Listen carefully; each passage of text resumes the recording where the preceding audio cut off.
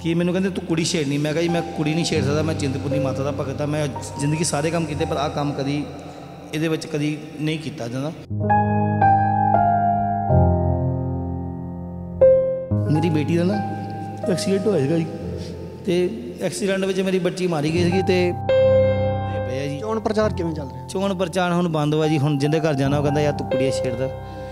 ਮੈਂ ਕਦੀ ਛੇੜ ਕੁੜੀ ਛੇੜਨੀ ਜੀ। ਇਹਦੇ ਬਸ ਧੋਖਾ ਹੋਇਆ ਸਾਡੇ ਨਾਲ। ਮੈਂ ਦੱਸ ਨਹੀਂ ਸਕਦਾ ਤੁਹਾਨੂੰ ਜੀ, ਬਹੁਤ ਦੁੱਖ ਵਾਲੀ ਗੱਲ ਆ। ਮੈਂ ਤੇ ਲੋਕਾਂ ਨਾਲ ਅੱਖਾਂ ਨਾਲ ਅੱਖ ਨਹੀਂ ਮਿਲਾ ਸਕਦਾ। ਤੇ ਮੈਂ ਬੜਾ ਸ਼ਰਮਿੰਦਾ। ਮੈਂ ਸਗੋਂ ਆਪ ਹੀ ਮੈਂ ਕਹਤਾ ਮੈਂ ਹਾਰ ਹਾਰ ਮੰਨ ਲਈ ਕਿ ਮੈਂ ਹਾਰ ਗਿਆ ਜੀ। ਕਈਆਂ ਨੇ ਮੇਰਾ ਮਜ਼ਾਕ ਬਣਾਉਣਾ ਬਣਾ ਲਓ। ਪਰ ਗਰੀਬ ਬੰਦੇ ਦਾ ਤਾਂ ਅਕਸਰ ਮਜ਼ਾਕ ਬੰਦਾ ਹੀ ਆਇਆ ਵਾ ਤੇ ਗਰੀਬ ਬੰਦੇ ਨੇ ਗਰੀਬ ਹੀ ਰਹਿਣਾ ਵਾ। ਜਿਹੜੀ ਪਾਰਟੀ ਆਂਦੀ ਆ ਉਹੀ ਮੈਨੂੰ ਕਹਿੰਦੀ ਤੂੰ ਕੁੜੀ ਛੇੜਦਾ ਤੂੰ ਜੇ ਖੇਡਦਾ। ਮੇਰਾ ਕੋਈ ਇਦਾਂ ਦਾ ਕਰੈਕਟਰ ਨਹੀਂ ਹੈਗਾ। ਮੈਂ ਇੱਕਦਮ ਵਧੀਆ ਬੰਦਾ ਵਾਂ। ਮੇਰੀ ਵਾਈਫ ਨੂੰ ਪੁੱਛ ਲਓ ਨਹੀਂ ਜੀ ਕਹਿੰਦੇ ਜੇ ਤੁਹਾਨੂੰ ਮੌਕਾ ਮਿਲੇ ਤੁਸੀਂ ਬੀਜੇਪੀ ਜਾਓਗੇ? ਦੇਖੋ ਜੀ ਜਦ ਤੱਕ ਜੇ ਕਿਸਾਨਾਂ ਨੂੰ ਧੱਕਾ ਹੋਇਆ ਉੱਥੇ ਤੱਕ ਤੇ ਨਹੀਂ ਲੱਗਦਾ ਪਿਆ। ਮੈਂ ਤੇ ਲੋਕਾਂ ਦੇ ਹੱਕ ਵਾਸਤੇ ਲੜਿਆ। ਮੈਂ ਸਿੱਧੂ ਵਾਂਗੂ ਨਵਜੋਤ ਸਿੰਘ ਸਿੱਧੂ ਵਾਂਗੂ ਨੂੰ ਕਿਹਾ ਤਾਂ ਮੈਂ ਥਾਣੇਦਾਰ ਦੀ ਪੈਂਟ ਗਿੱਲੀ ਕਰਤੀ ਮੈਂ ਥਾਣੇਦਾਰ ਦਾ ਉਹ ਕਰਤਾ। ਇੰਡੀਆ ਦਾ ਦੂਜਾ ਅੰਨਾ ਹਜ਼ਾਰੇ ਮੈਂ ਆਵਾਂ ਜੀ ਹੁਣ। ਪੰਜਾਬ ਵਿਧਾਨ ਸਭਾ ਚੋਣਾਂ ਵਿੱਚ ਸਮਾਂ ਬਹੁਤ ਥੋੜਾ ਰਹਿ ਗਿਆ ਹੈ। ਵੱਖ-ਵੱਖ ਪਾਰਟੀਆਂ ਦੇ ਵੱਖ-ਵੱਖ ਉਮੀਦਵਾਰਾਂ ਨੇ ਤਾਂ ਸਾਡੇ ਨਾਲ ਇਸ ਸਮੇਂ ਨੀਟੂ ਸ਼ਟਰਾਂਵਾਲਾ ਮੌਜੂਦ ਨੇ। ਉਹਨਾਂ ਨਾਲ ਗੱਲਬਾਤ ਕਰਦੇ ਹਾਂ। ਸਵਾਗਤ ਹੈ ਨੀਟੂ ਜੀ। ਬਹੁਤ ਬਹੁਤ ਮਿਹਰਬਾਨੀ ਜੀ ਪੰਜਾਬ ਕਿਸ ਦੀ ਜਗਬਾਣੀ ਦਾ। ਮੈਂ ਬਹੁਤ ਧੰਨਵਾਦ ਕਰਦਾ ਜੀ। ਸੱਚੀਆਂ ਖਬਰਾਂ ਤੇ ਸੁੱਚੀਆਂ ਖਬਰਾਂ ਜਿਹੜੀਆਂ ਲੱਗਦੀਆਂ ਪੰਜਾਬ ਕੇਸਰੀ ਅੰਦਰ ਲੱਗਦੀਆਂ ਜੀ। ਔਰ ਰੱਬ ਦਾ ਨਾਮ ਲੈਣੇ ਜੀ। ਵਾਹਿਗੁਰੂ ਜੀ ਕਾ ਖਾਲਸਾ। ਸ੍ਰੀ ਵਾਹਿਗੁਰੂ ਜੀ ਕੀ ਫਤਿਹ। ਜੈ ਭਾਰਤ, ਜੈ ਭੀਮ, ਜੈ ਭਗਵਾਨ ਵਾਲਮੀਕ, ਜੈ ਗੁਰੂ ਰਵਿਦਾਸ। ਹਾਲੇਲੂਇਆ ਗੌਂਸ ਪਾ ਖੁਸ਼ਨ ਦੇ ਅੱਲਾਹ ਤਾਲਾ ਸਭ ਨੂੰ ਖੁਸ਼ ਰੱਖੇ। ਜਕਾਰਾ ਬਾਬਾ ਸੋਡਲ ਦਾ ਜੈ ਮਾ ਚਿੰਤਪੁਰਨੀ ਜੀ। ਨੀਟੂ ਜੀ, ਸਭ ਤੋਂ ਪਹਿਲਾਂ ਤਾਂ ਇਹ ਦੱਸੋ ਕਿ ਕੁਝ ਦਿਨ ਪਹਿਲਾਂ ਜਿਹੜੀ ਤੁਹਾਡੀ ਇੱਕ ਵੀਡੀਓ ਵਾਇਰਲ ਹੁੰਦੀ ਹੈ, ਉਹਦੇ ਵਿੱਚ ਦੱਸਿਆ ਜਾ ਰਿਹਾ ਸੀ ਕਿ ਤੁਹਾਡੇ ਕੁੱਟਮਾਰ ਕੀਤੀ ਗਈ। ਉਹ ਉਹਦਾ ਸੱਚ ਕੀ ਹੈ ਅਸਲ ਦੇ ਵਿੱਚ? ਸੱਚ ਹੈ ਜੀ ਗ੍ਰੇਡ ਖਲੀ ਜਾਣਦਾ ਜੀ। ਦੇਖੋ, ਆਪਾਂ ਗ੍ਰੇਟ ਖਲੀ ਆਪਣਾ ਯਾਰ ਵਾ, ਦੋਸਤ ਆ ਆਪਣਾ ਆਪਣਾ ਬੜਾ ਬਹਿਣਾ ਖਲੋਣਾ ਉਹਦੇ ਨਾਲ। ਤੇ ਮੈਂ ਉਹਨੂੰ ਕਿਹਾ, ਮੈਂ ਗਰੀਬ ਬੰਦਾ ਵਾਂ, ਮੇਰੀ ਕੁਝ ਮਦਦ ਕਰ ਦਿਓ ਜੀ। ਉਹ ਕਹਿੰਦੇ ਵੀ ਚਲੋ ਤੈਨੂੰ ਮੈਂ ਇਦਾਂ ਕਰਦਾ, ਬਿਗ ਬੌਸ ਦੇ ਵਿੱਚ ਭੇਜ ਦੇਣਾ ਸਲਮਾਨ ਖਾਨ ਕੋ। ਮੈਂ ਕਿਹਾ, ਠੀਕ ਆ ਜੀ। ਉਹਨਾਂ ਨੇ ਮੇਰੇ ਨਾਲ ਸਲਮਾਨ ਖਾਨ ਨਾਲ ਗੱਲ ਕਰਾਈ, ਫੋਨ ਦੇ ਉੱਤੇ। ਤੇ ਮੈਂ ਵੀ ਗੱਲ ਕੀਤੀ, ਉਹ ਕਹਿੰਦਾ ਯੂ ਆਰ ਖਲੀ, ਮੇਰਾ ਬ੍ਰਦਰ ਇਜ਼ ਮਾਈ ਗੁੱਡ ਤਾਂ ਆਪਣੀ ਯੂ ਆਰ ਪ੍ਰੋਫਾਈਲ ਤੇ ਮੈਂ ਕਿਹਾ ਜੀ, ਮੈਨੂੰ ਪ੍ਰੋਫਾਈਲ ਦਾ ਪਤਾ ਨਹੀਂ, ਕਹਿੰਦਾ ਜਿੱਦਾਂ ਅਮਰੇਸ਼ਪੁਰੀ ਮਤਲਬ ਕੰਮ ਕਰਦਾ, ਤੂੰ ਉਦਾਂ ਦੇ ਕੰਮ ਕਰ ਸਕਦਾ। ਮੈਂ ਕਿਹਾ, ਮੈਂ ਜੀ ਕੁਝ ਵੀ ਕਰ ਸਕਦਾ, ਮੈਂ ਕਿਹਾ ਵੀ ਤੁਸੀਂ ਦੱਸੋ, ਮੈਂ ਰੋਟੀ ਦਾ ਮਸਲਾ ਜੀ ਆਪਣਾ। ਤੇ ਮੈਂ, ਉਹ ਮੈਂ ਖਲੀ ਸਾਹਿਬ ਨੂੰ ਕਿਹਾ, ਮੈਂ ਕਿ ਤੁਸੀਂ ਮੇਰੀ ਬਣਾ ਕੇ ਵੀਡੀਓ ਤੁਸੀਂ ਭੇਜੋ ਜੀ ਇਹਨਾਂ ਨੂੰ। ਤੇ ਉਹਨਾਂ ਨੇ ਫਿਰ ਪਟਵਾਰੀ ਢਾਬੇ ਤੇ ਨਾਲ ਇੱਕ ਸ਼ੂਟ ਕੀਤਾ ਸੀਗਾ, ਕਿ ਮੈਨੂੰ ਕਹਿੰਦੇ ਤੂੰ ਕੁੜੀ ਛੇੜਨੀ। ਮੈਂ ਕਿਹਾ ਜੀ, ਮੈਂ ਕੁੜੀ ਨਹੀਂ ਛੇੜ ਸਕਦਾ, ਮੈਂ ਚਿੰਤਪੁਰਨੀ ਮਾਤਾ ਦਾ ਭਗਤ ਆ ਮੈਂ ਜ਼ਿੰਦਗੀ ਸਾਰੇ ਕੰਮ ਕੀਤੇ, ਪਰ ਆਹ ਕੰਮ ਕਦੀ ਇਹਦੇ ਵਿੱਚ ਕਦੀ ਨਹੀਂ ਕੀਤਾ ਜਾਂਦਾ ਚਲੋ ਜੇਕਰ ਮੁੰਡੇ ਨੂੰ ਨਾ ਕੱਪੜੇ ਕੁੜੀ ਦੇ ਪਵਾ ਕੇ ਆਪਾਂ ਮੁੰਡਾ, ਮੁੰਡੇ ਨੂੰ ਛੇੜਖਾਨੀ ਕਰਾਂਗੇ, ਕੁੜੀ ਲਾਗੇ ਖੜੀ ਹੋਊਗੀ, ਦੇਖੂਗੀ। ਵੀ ਚਲੋ, ਉਹ ਕਰੂਗੀ, ਕਹਿੰਦੇ ਚਲੋ ਠੀਕ ਆ। ਉਹ ਇੱਕ ਵੀਡੀਓ ਅਸੀਂ ਵਾਇਰਲ ਹੋਈ ਕਿ ਮੇਰਾ ਨਾ ਨਾਮ ਮਿੱਟੀ 'ਚ ਮਿਲਾਉਣ ਦੀ ਕੋਸ਼ਿਸ਼ ਕੀਤੀ ਗਈ ਹੈ ਜੀ। ਮੈਨੂੰ ਬਹੁਤ ਬਦਨਾਮ ਕੀਤਾ ਗਿਆ। ਆ ਦੇਖੋ ਮੈਂ ਤੁਹਾਨੂੰ ਦਿਖਾ ਰਿਹਾ ਜੀ ਹੁਣ। ਪਰ ਤੁਸੀਂ ਕਹਿ ਰਹੇ ਹੋ ਕਿ ਗ੍ਰੇਟ ਖਲੀ ਤੁਹਾਡੇ ਦੋਸਤ ਨੇ। ਦੋਸਤਾਂ ਤੁਹਾਡੇ ਬੀਜੇਪੀ ਸ਼ਾਮਲ ਹੋ ਗਏ। ਦੇਖੋ ਮੈਨੂੰ ਨਹੀਂ ਪਤਾ। ਮੇਰੀ ਹਾਨੀ ਹਵਾ ਨਾ ਮੇਰੀ 117 ਕੈਂਡੀਡੇਟ ਆ ਜਿਹੜੇ ਜਿੱਤਦੇ ਪਏ ਆ। ਬੈਟ ਦੇ ਨਿਸ਼ਾਨ ਤੇ ਆ 117 ਕੈਂਡੀਡੇਟ ਆਪਾਂ ਜਿੱਤਦੇ ਪਏ 116 116 ਕਚੰਦਰ ਗਰੇਵਾਲ ਦੀ ਜਗ੍ਹਾ ਤੇ ਛੱਡ ਕੇ 116 ਕੈਂਡੀਡੇਟ ਆਪਾਂ ਜਿੱਤਦੇ ਪਏ। ਜਿੱਥੇ ਮਰਜ਼ੀ ਆ ਜਾਏ। ਸਾਡੇ ਨਾਲ ਜਿਹੜੀ ਮਰਜ਼ੀ ਪਾਰਟੀ ਆ ਜੇ ਸਾਡੇ ਕੋਲ ਬੇਸ਼ੱਕ ਪੈਸਾ ਘੱਟ ਵਾ ਪਰ ਸਾਡੀ ਹਿੰਮਤ ਬਹੁਤ ਜ਼ਿਆਦਾ ਵਾ। ਨਹੀਂ ਤੁਹਾਨੂੰ ਉਹਨਾਂ ਨੇ ਕੋਈ ਆਫਰ ਨਹੀਂ ਦਿੱਤਾ ਕਿਉਂਕਿ ਦੋਸਤੀ ਜਿਵੇਂ ਤੁਸੀਂ ਦੱਸ ਰਹੇ ਹੋ ਕਾਫੀ ਤੁਹਾਡੀ ਗੂੜੀ ਸੀ ਪਹਿਲਾਂ ਵੀ। ਆਫਰ ਤੇ ਨਹੀਂ ਕੋਈ ਆਈ ਦੇਖੋ ਆਪਾਂ ਆਪਾਂ ਤਾਂ ਝੂਠ ਮਾਰੀਏ ਪਰ ਆਪਾਂ ਸੱਚ ਦੇ ਰਾਹ ਵਿੱਚ ਲੱਗੇ ਆ ਜੀ ਤੇ ਔਰ ਮੈਨੂੰ ਨਹੀਂ ਪਤਾ ਸੀਗਾ ਐਡਾ ਵੱਡਾ ਧੋਖਾ ਹੋਏਗਾ ਤੇ ਇਹਦੇ ਵਿੱਚ ਇੱਕ ਬਹੁਤ ਵੱਡਾ ਕਾਰਨ। ਮੇਰੀ ਬੇਟੀ ਦਾ ਨਾ ਐਕਸੀਡੈਂਟ ਹੋਇਆ ਸੀਗਾ ਜੀ ਤੇ ਐਕਸੀਡੈਂਟ ਵਿੱਚ ਮੇਰੀ ਬੱਚੀ ਮਾਰੀ ਗਈ ਸੀਗੀ ਤੇ ਐਕਸੀਡੈਂਟ ਵਿੱਚ ਨਾ ਉਹ ਸਾਰੀ ਕੇਸ ਲਾਇਆ ਜੱਜ ਸਾਹਿਬ ਕੋ ਜੱਜ ਤੇ ਜੱਜ ਤੇ ਰੱਬ ਵਾ ਵਕੀਲ ਵੀ ਰੱਬ ਵਾ। ਤੇ ਉਹਦੀ ਇੰਸ਼ੋਰੈਂਸ ਵਾਲੇ ਕੰਪਨੀ ਵਾਲੇ ਕਹਿੰਦੇ ਵੀ ਅਸੀਂ ਨਾ ਗ੍ਰਹਿ ਮੰਤਰੀ ਦਾ ਫੋਨ ਕਰਵਾ ਕੇ ਨਾ ਇਹਨਾਂ ਦਾ ਕੇਸ ਰੱਦ ਕਰਾ ਦਿੱਤਾ ਗਿਆ ਤੇ ਮੈਂ ਆਪਾਂ ਜੱਜ ਸਾਹਿਬ ਕੋਲ ਕੁਝ ਨਹੀਂ ਮੰਗਦਾ ਹੱਥ ਜੋੜ ਕੇ ਬੇਨਤੀ ਹੈ ਜੀ, ਜਿਹੜੇ ਸਾਡੇ ਬੱਚੇ ਦੇ ਕਾਤਲ ਹੈਗੇ 10-10 ਸਾਲ ਸਜ਼ਾ ਦੇ ਦਿਓ ਉਹਨਾਂ ਨੂੰ ਉਹਨਾਂ ਨੂੰ ਉਮਰ ਉਮਰ ਕੈਦ ਦੀ ਸਜ਼ਾ ਹੋਵੇ ਤਾਂ ਕਿ ਸਾਡੇ ਦਿਲ ਨੂੰ ਪਤਾ, ਆਪਾਂ ਪੈਸੇ ਨਹੀਂ ਮੰਗਦੇ ਉਹਨਾਂ ਤੋਂ, ਆਪਾਂ ਕੁਝ ਨਹੀਂ ਮੰਗਦੇ, ਆਪਾਂ ਇਨਸਾਫ ਚਾਹੁੰਦੇ ਆ ਇੱਕ ਦਿੱਲੀ ਵਿੱਚ ਕੁੜੀ ਦਾ ਰੇਪ ਹੋਇਆ, ਉਹਦਾ ਮੂੰਹ ਕਾਲਾ ਕੀਤਾ, ਕਦੀ ਗੁੱਤ ਵੱਡੀ ਗਈ ਵਿਚਾਰੀ ਦੀ, ਉਹ ਧੀਆਂ ਦੇ ਹੱਕ 'ਚ ਕੌਣ ਆ? ਮੈਂ ਆਹ ਗੱਲਾਂ ਦੋ ਕਹੀਆਂ ਸੀਗੀਆਂ ਅੱਜ ਸਾਰੀ ਪਾਰਟੀਆਂ ਵਾਲੇ ਮੇਰੇ ਖਿਲਾਫ ਹੋ ਗਏ ਜੀ। ਮੈਨੂੰ ਨਹੀਂ ਪਤਾ ਕਾਂਗਰਸ ਕੇ ਬੀਜੇਪੀ ਅਕਾਲੀ ਆ ਕਿ ਬਹੁਜਨ ਸਮਾਜ ਪਾਰਟੀ ਕਿਹੜੀ ਪਾਰਟੀ ਹੈ ਕਿ ਜਿਹੜੀ ਮੈਨੂੰ ਬਦਨਾਮ ਕਰਨਾ ਚਾਹੁੰਦੀ ਪਰ ਮੇਰੇ 117 ਕੈਂਡੀਡੇਟ ਅੱਜ ਦੀ ਡੇਟ 'ਚ ਜਿੱਤਦੇ ਪਏ ਆ ਜੀ। ਚੋਣ ਪ੍ਰਚਾਰ ਕਿਵੇਂ ਚੱਲ ਰਿਹਾ? ਚੋਣ ਪ੍ਰਚਾਰ ਹੁਣ ਬੰਦ ਵਾ ਜੀ। ਹੁਣ ਜਿੰਦੇ ਘਰ ਜਾਣਾ ਉਹ ਕਹਿੰਦਾ ਯਾਰ ਤੂੰ ਕੁੜੀਆਂ ਛੇੜਦਾ। ਮੈਂ ਕਦੀ ਛੇੜ ਕੁੜੀ ਛੇੜਨੀ ਜੀ। ਇਹਦੇ ਬਸ ਧੋਖਾ ਹੋਇਆ ਸਾਡੇ ਨਾਲ। ਮੈਂ ਦੱਸ ਨਹੀਂ ਸਕਦਾ ਤੁਹਾਨੂੰ ਜੀ ਬਹੁਤ ਦੁੱਖ ਵਾਲੀ ਗੱਲ ਆ। ਮੈਂ ਤੇ ਲੋਕਾਂ ਨਾਲ ਅੱਖਾਂ ਨਾਲ ਅੱਖ ਨਹੀਂ ਮਿਲਾ ਸਕਦਾ। ਤੇ ਮੈਂ ਬੜਾ ਸ਼ਰਮਿੰਦਾ, ਮੈਂ ਸਗੋਂ ਆਪ ਹੀ ਮੈਂ ਕਹਤਾ ਮੈਂ ਹਾਰ ਹਾਰ ਮੰਨ ਲਈ ਕਿ ਮੈਂ ਹਾਰ ਗਿਆ ਜੀ। ਪਰ ਮੈਂ ਇਹ ਗੱਲ ਕਹਿਣਾ ਚਾਹੁੰਦਾ ਵੀ ਪੈ- ਪੈਸੇ ਨਾਲ ਪੈਸਾ ਤੁਸੀਂ ਤੋਲਦੇ ਹੋ ਤੇ ਵੋਟਾਂ ਨਾਲ ਤੁਸੀਂ ਵੋਟਾਂ ਲੜੋ ਤੇ ਇਦਾਂ ਕਿਸੇ ਦਾ ਇਲਜ਼ਾਮ ਨਹੀਂ ਲੱਗਣਾ ਚਾਹੀਦਾ ਔਰ ਚੋਣ ਕਮਿਸ਼ਨਰ ਸਾਹਿਬ ਨੇ ਸਿਰਫ ਸਾਨੂੰ 8-10 ਦਿਨ ਪਹਿਲਾਂ ਪਰਮਿਸ਼ਨ ਦਿੱਤੀ ਹੈ ਜੀ। 10 ਦਿਨਾਂ 'ਚ ਅਸੀਂ ਕੀ ਕਰ ਲੈਣਾ ਸੀਗਾ? ਫਿਰ ਵੀ ਅਸੀਂ ਚਲੋ ਜ਼ੋਰ ਜ਼ਾਰ ਲਾਇਆ।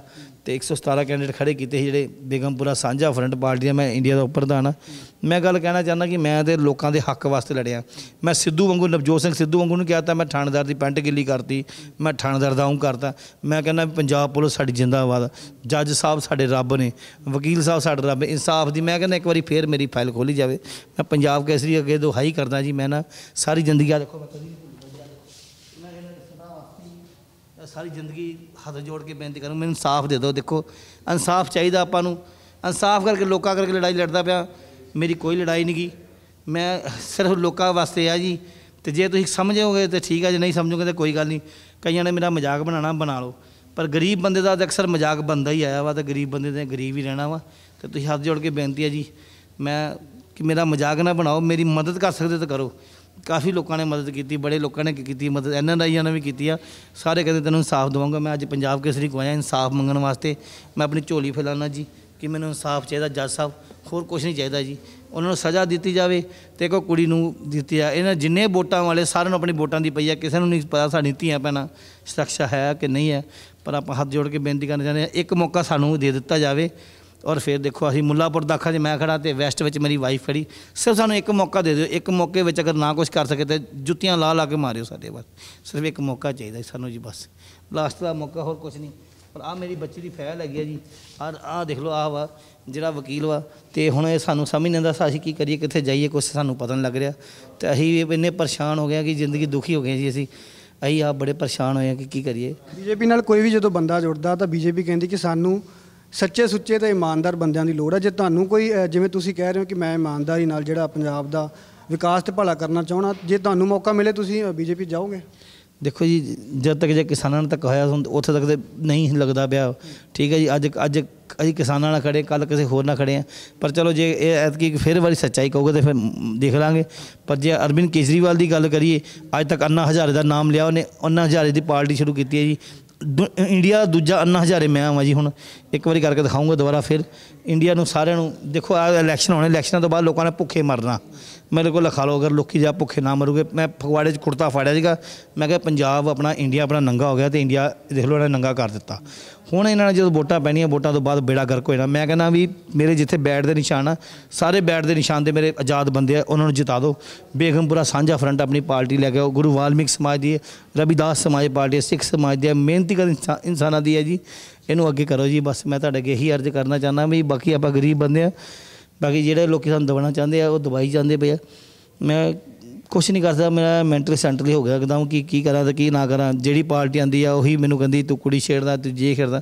ਮੇਰਾ ਕੋਈ ਇਦਾਂ ਦਾ ਕਰੈਕਟਰ ਨਹੀਂ ਹੈਗਾ, ਮੈਂ ਇੱਕਦਮ ਵਧੀਆ ਬੰਦਾ ਵਾਂ, ਮੇਰੀ ਵਾਈਫ ਨੂੰ ਪੁੱਛ ਲਓ, ਨਹੀਂ ਯਕੀਨ ਤੇ ਆਪਾਂ ਲੋਕਾਂ ਦੇ ਹੱਕ ਵਾਸਤੇ ਲੜੇ ਅੱਜ ਲੋਕਾਂ ਦੇ ਹੱਕ ਜਿਸ ਤੇ ਨਹੀਂ ਲੜੇਗੇ, ਤਾਂ ਲੋਕੀ ਕੱਲ ਯਾਦ ਕਰੂਗੇ, ਠੀਕ ਆ, ਮੈਂ ਵੀ ਉਹਨਾਂ ਵਰਗਾ ਹੋ ਜਾਊਗਾ, ਕਿਸੇ ਪਾਰਟੀ ਵਿੱਚ ਵੜ ਜਾਊਗਾ, ਕਿਸੇ ਪਾਰਟੀ ਨਾਲ ਸਹਿਮਤ ਕਰ ਲਊ। ਮੈਂ ਕਹਿੰਦਾ, ਮੈਨੂੰ ਕਾਂਗਰਸ ਜਾਂ ਅਕਾਲੀ ਜਾਂ ਬੀਜੇਪੀ ਜਾਂ ਮੋਦੀ ਜਾਂ ਬਾਦਲ ਸਾਹਿਬ, ਕੋਈ ਬੰਦਾ ਇਨਸਾਫ ਨਹੀਂ ਦਵਾ ਸਕਦਾ। ਇਸ ਇੰਡੀਆ ਵਿੱਚ ਕੋਈ ਬੰਦਾ ਨਹੀਂ ਰਹਿ ਗਿਆ ਜਾਂ ਕੋਈ ਮਿਨਿਸਟਰ ਹੀ ਨਹੀਂ ਰਹਿ ਗਿਆ ਤੇ ਜੇ ਨਹੀਂ ਰਹਿ ਗਿਆ ਤਾਂ ਫਿਰ ਆਪਾਂ ਆਪਣੇ 117 ਐਮਐਲਏ ਖੜੇ ਕਰਕੇ ਤੇ ਜੇ ਬਣ ਗਿਆ 4 ਘੰਟਿਆਂ ਵਿੱਚ ਪੂਰਾ ਇੰਡੀਆ ਅਮੀਰ ਨਾ ਕਰਕੇ ਦਿਖਾਇਆ ਤੇ ਜੋ ਸਰਕਾਰ ਕਹੇਗੀ ਮੈਂ ਕਰ ਲੂ ਤਿਆਰ ਪਰਿਵਾਰ ਦਾ ਸਾਥ ਕਿਵੇਂ? ਕਿਉਂਕਿ ਜਦੋਂ ਤੁਸੀਂ ਪਹਿਲੀ ਵਾਰ ਇਲੈਕਸ਼ਨ ਲੜਿਆ ਤੇ ਪਰਿਵਾਰ ਦਾ ਤੁਸੀਂ ਕਿਹਾ ਕਿ ਮੇਰੇ ਪਰਿਵਾਰ ਦੀਆਂ 9 ਵੋਟਾਂ ਪਰ ਮੈਨੂੰ 5 ਪਈਆਂ ਤੁਸੀਂ ਆਪਣੇ ਕੱਪੜੇ ਵੀ ਪਾੜ ਲਏ ਸੀ। ਇਸ ਵਾਰ ਕੀ ਰਿਸਪੌਂਸ ਆ ਪਰਿਵਾਰ ਦਾ? ਯਾਦ ਕਿ ਪਹਿਲਾਂ ਹੀ ਵੋਟਾਂ ਤੋਂ ਪਹਿਲਾਂ ਹੀ ਆਪਾਂ ਹਾਰ ਮੰਨ ਲਈ ਜੀ। ਸਾਡੀ ਵੀਡੀਓ ਵਾਇਰਲ ਕੀਤੀ ਗਈ ਆ ਤੇ ਬਾਕੀ ਇਹ ਗ੍ਰੇਡ ਖਲੀ ਦੱਸਦਾ ਵਾ। ਕਿ ਕਿਉਂ ਕੀਤੀ ਗਈ ਆ ਕਿਦਾਂ ਹੋਇਆ? ਬਾਕੀ ਇਹ ਸਾਡਾ ਕੋਈ ਹੱਥ ਨਹੀਂ ਇਹ ਰੱਬ ਜਾਣਦਾ ਸੀ ਗਰੀਬ ਬੰਦੇ ਆ ਜੀ। ਅਸੀਂ ਤਾਂ ਕਿਸੇ ਨਾਲ ਲੜ ਵੀ ਨਹੀਂ ਸਕਦੇ। ਪਰ ਇੱਕ ਗੱਲ ਹੈ, ਸਾਨੂੰ ਇਨਸਾਫ ਚਾਹੀਦਾ। ਇਨਸਾਫ ਇਨਸਾਫ ਕਰਕੇ ਤਾਂ ਆਪਾਂ ਇੱਥੇ ਆਏ ਆ ਜੀ। ਤੇ ਜੇ ਇਨਸਾਫ ਨਹੀਂ ਮਿਲੂਗਾ ਤਾਂ ਫਿਰ ਮੁਸ਼ਕਲ ਹੋ ਜਾਣੀ ਗੱਲ। ਅਸੀਂ ਇਨਸਾਫ ਕਰਕੇ ਪੰਜਾਬ ਕੇਸਰੀ ਦੇ ਆਫਿਸ ਆਇਆ ਕਿ ਸੱਚ ਦੀਆਂ ਖਬਰਾਂ ਲੱਗਦੀਆਂ ਤੇ ਸੱਚ ਦੇ ਹੱਕ ਦੀ ਖਬਰਾਂ ਲੱਗਦੀਆਂ ਵਾ। ਤੇ ਆਪਾਂ ਇੱਥੇ ਆਂਦੇ ਰਵਾਂਗੇ ਜੀ। ਤੇ ਬੜੀ ਮਿਹਰਬਾਨੀ ਜਿਹੜੇ ਜਿਹੜੇ ਦੋਸਤ ਸਾਡੀ ਵੀਡੀਓ ਸ਼ੇਅਰ ਕਰੋਗੇ ਜਿਹੜੇ ਸਾਡੇ ਇਨਸਾਫ ਦਿਵਾਓਗੇ ਕਿਉਂਕਿ ਸਾਡੀ ਬੱਚੀ ਨਾਲ ਇੱਦਾਂ ਹੋਇਆ ਵਾ। ਕੱਲ ਨੂੰ ਉਹਨਾਂ ਨਾਲ ਵੀ ਇਦਾਂ ਹੋਣਾ ਜੇ ਸਾਡੇ ਸਾਡੇ ਵਿੱਚ ਨੇ ਕਈ ਮਾਵਾਂ ਦੇ ਪੁੱਤ ਜੇਲ੍ਹ 'ਚ ਰੁਲਦੇ ਫਿਰਦੇ ਆ। ਅਸੀਂ ਜਿੱਦਾਂ ਕਿ ਚੱਕੀ ਫਿਰਦੇ ਆ ਇਦਾਂ ਹੀ ਲੋਕਾਂ ਨਾਲ ਸਾਰਿਆਂ ਨੇ ਹੋਣਾ ਪਰ ਇਹ ਜ਼ੁਲਮ ਨੂੰ ਰੋਕਣ ਵਾਸਤੇ ਕਿਸੇ ਨੂੰ ਤਾਂ ਅੱਗੇ ਆਉਣਾ ਪੈਣਾ। ਇੱਕ ਇੱਕ ਆਖਰੀ ਸਵਾਲ ਸੀਐਮ ਫੇਸ ਕਿਹੜਾ ਤੁਹਾਡੀ ਪਾਰਟੀ ਦਾ? ਜੇ ਸੀਐਮ ਦੀ ਗੱਲ ਕਰੀਏ ਤੇ ਆਪਾਂ ਆਪਾਂ ਉਸਤਾਦ ਬੱਬੂ ਮਾਨ ਜੀ ਨੂੰ ਕਹਿੰਦੇ ਆ ਜੇ ਸਿੱਧੂ ਮੂਸੇਵਾਲਾ ਸੀਐਮ ਉਹ ਐਮਐਲਏ ਲੜਦਾ ਪਿਆ ਉਹਨੇ ਕਿਹੜਾ ਜਿੱਤਣਾ ਵਾ? ਜੇ ਗੱਲ ਕਰੀਏ ਨਵਜੋਤ ਸਿੰਘ ਸਿੱਧੂ ਦੀ ਆਪਣੀ ਮਾਤਾ ਨੂੰ ਕਿਦਾਂ ਠੋਕ ਠੋਕਰਾ ਮਾਰੀ ਆਪਣੀ ਭੈਣਾਂ ਨੇ ਕਿੱਦਾਂ ਕੀਤਾ ਉਹ- ਉਹ ਲੋਕ ਇਦਾਂ ਦੇ ਬੰਦੇ ਨੂੰ ਭ੍ਰਿਸ਼ਟਾਚਾਰ ਨੂੰ ਵੋਟ ਪਾਵਾਂਗੇ। ਬੜੀ ਮਾੜੀ ਗੱਲ ਜੇ ਭਗਵੰਤ ਮਾਨ ਦੀ ਗੱਲ ਕਰੀਏ ਤਾਂ ਭਗਵੰਤ ਮਾਨ ਨੇ ਬਾਹਰ ਵੀ ਆਪਣੇ ਹੋਟਲ 5 ਸਟਾਰ ਖੋਲੇ ਆ। ਕਿਹੜਾ ਬੰਦਾ ਜਿਹੜਾ ਲੀਡਰ ਦੇ ਵਿੱਚ ਸਹੀ ਆ? ਕੋਈ ਬੰਦਾ ਨਹੀਂ ਸਹੀ। ਜੇ ਗਰੀਬ ਬੰਦੇ ਨੂੰ ਇੱਕ ਵਾਰੀ ਮੌਕਾ ਦੇ ਦੋਗੇ ਤੇ ਇੱਕ ਵਾਰੀ ਗਰੀਬ ਬੰਦੇ ਦਾ ਵੀ ਦੇਖ ਲਓ। ਇੱਕ ਵਾਰੀ ਆਜ਼ਾਦ ਬੰਦੇ ਨੂੰ ਦੇਖ ਲਓ। ਇੱਕ ਬੇਗਮਪੁਰਾ ਸਾਂਝਾ ਫਰੰਟ ਪਾਰਟੀ ਉਹਨੂੰ ਵੀ ਦੇਖ ਲਓ ਇੱਕ ਵਾਰੀ। ਤੁਹਾਡੇ 'ਚ ਕਿਹੜੀ ਐਸੀ ਖੂਬੀ ਲੋਕ ਵੇਖਣ ਕਿ ਤੁਹਾਨੂੰ ਵੋਟ ਪਾਉਣ? ਕਿਉਂਕਿ ਲੋਕ ਕੋਈ ਕਹਿੰਦਾ ਮੈਂ ਵਿਕਾਸ ਕਰੂੰ ਕੋਈ ਕਹਿੰਦਾ ਮੈਂ ਧਰਮ ਦੀ ਰਾਜਨੀਤੀ ਵੀ ਅੱਜਕੱਲ ਚੱਲ ਰਹੀ ਹੈ ਤੁਹਾਡੇ 'ਚ ਕਿਹੜੀ ਖੂਬੀ ਦੇਖ ਕੇ ਲੋਕ ਜਿਹੜਾ ਤੁਹਾਨੂੰ ਵੋਟ ਪਾਉਣ? ਦੇਖੋ ਆਪਾਂ ਹੱਕ ਸੱਚ ਦੀ ਲੜਾਈ ਹੈ ਸੱਚ ਦਾ ਹੋਕਾ ਦੇਣ ਡਿਆ ਮੈਂ। ਮੈਨੂੰ ਨਹੀਂ ਪਤਾ ਕੀ ਹੋਣ ਡਿਆ ਜਗਤ ਕੀ ਹੋਣੀ, ਪਰ ਮੈਂ ਜਿੱਥੇ ਖੜਾ ਹਾਂ ਸੱਚ ਸੱਚ ਸੱਚ ਦੀ ਆਵਾਜ਼ ਹੋਗੀ ਮੇਰੀ ਮੇਰੀ ਹੱਕ ਦੀ ਆਵਾਜ਼ ਹੋਗੀ ਮੈਂ ਇਹ ਨਹੀਂ ਕਹਿੰਦਾ ਕਿ ਮੈਂ ਕਿਆ ਕਰ ਦੂੰਗਾ ਜੋ ਕਰ ਦੂੰਗਾ। ਇਹਨਾਂ ਲੀਡਰਾਂ ਨੇ ਤਾਂ ਸਾਡਾ ਨੀਲਾ ਕਾਰਡ ਵੀ ਬੰਦ ਕਰਾ ਦਿੱਤਾ। ਸਾਡਾ ਬੇੜਾ ਕਰ ਕਰਾ ਸਾਡੇ ਕੋਲ ਡੇਢ, ਦੋ ਮਰਲੇ ਜਗ੍ਹਾ ਵਾ, ਜਾ ਕੇ ਦੇਖ ਸਕਦੇ ਹੋ। ਵੀ ਫਿਰ ਵੀ ਅਸੀਂ ਹਾਲਾਤਾਂ ਨਾਲ ਲੜ ਕੇ ਆਪਾਂ ਅੱਗੇ ਵਧਣ ਦੀ ਕੋਸ਼ਿਸ਼ ਕੀਤੀ ਤੇ ਇਹਨਾਂ ਨੇ ਸਾਡੀ ਵੀਡੀਓ ਵਾਇਰਲ ਕਰਤੀ। ਹੁਣ ਇਹ ਨਹੀਂ ਪਤਾ ਕਿਸ ਬੰਦੇ ਨੇ ਕੀਤੀ, ਕਿਸ ਬੰਦੇ ਨੇ ਨਹੀਂ, ਪਰ ਅਸੀਂ ਉਹ ਕਹਿੰਦੇ ਆ ਜਿਹੜੇ ਸਾਡੇ ਬੱਚੇ ਦੇ ਆ। ਕੋਈ ਸ਼ੱਕ ਹੈ ਕਿਸੇ ਤੇ?